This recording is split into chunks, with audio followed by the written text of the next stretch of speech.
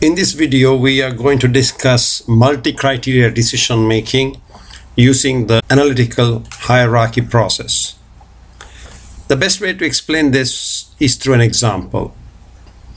A hotel chain is considering hiring a business development manager and it has identified six criteria and four potential candidates. Let us now look at the AHP software and how we address this particular problem. I have set up the problem already, hit continue, and I've added the criteria and the candidates. And when I hit continue, I'm offered the judgment options, criteria judgment and candidate judgment. I hit criteria judgment and now I have a slider screen. This is a very simple process. You only have to remember two questions. Which one? How much? Which one? How much?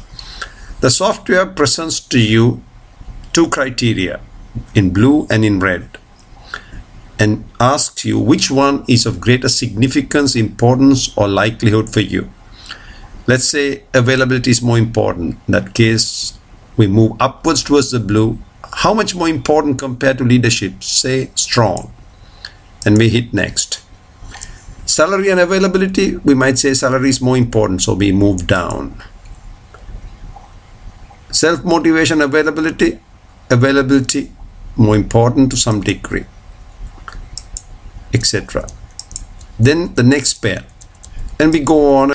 Once we complete the evaluation we move to the candidate judgment screen. And here we are offered the same process. We take one criterion which is availability in this case and compare Jane versus Kathy. The same question. Which one is more important or dominant compared to the other for this criterion. So let's say Jane is more important. And once we finish the first criterion, it moves to the second criterion. And when we finish and we are provided the final result. Here we have the criteria weights and we do have the candidate weight.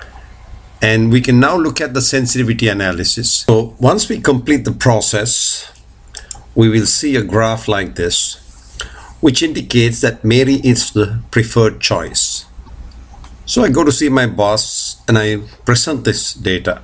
And he says, if we're willing to pay whatever it takes, is Mary still your choice? Of course, I scratch my head, not knowing how to respond. Well, with our software, all we have to do is press one button and we see an interesting graph. And I want you to pay attention to this particular chart. Right here on the left hand side, we have a band here. That is the optimum band considering all six criteria. If you see Mary with 32.3 is the recommended candidate. To the right of this, we have six bands, one, two, three, four, five, six. These represent the n minus one evaluations. In other words, in each case, we have removed one criterion and run the simulation for five criteria only. For example, here we see availability has been removed. Here leadership has been removed. And here salary has been removed. So if my boss says he's not concerned about salary, we obviously don't want salary in our evaluation. So we look at this particular graph and we see that if salary is not an issue, Sue is a significantly better candidate. There would have been no other way for us to conduct an evaluation instead of going through it laboriously. With this software, it's just a one button press. And this is true of any criterion that you want to exclude after the evaluation because we start with criteria with the best of interest. But once we see the evaluation, we can see if we are willing to relax and let go of some of our needs and wants. Here's another quick example. A US engineering contractor is considering opening a branch office in Asia. They considered six criteria and five candidates. As before, we have our criteria and we have our candidates. We run the software. Sydney is the preferred choice. But when we look at the n minus 1 analysis, we see something very interesting. Here again, we have the original evaluation and these are the sensitivities. Look right here.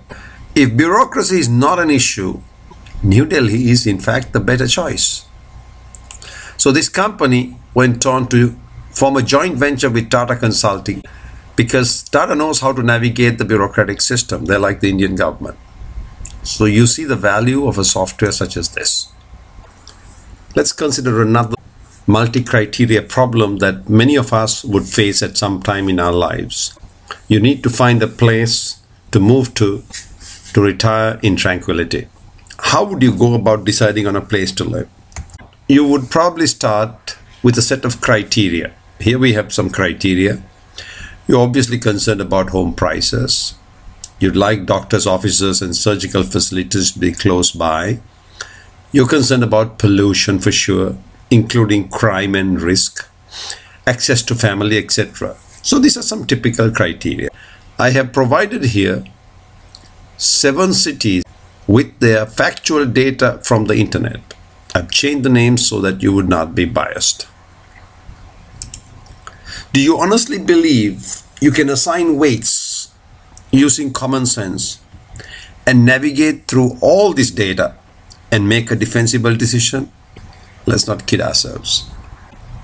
We really need a technique such as the pairwise comparison technique that we offer with our software.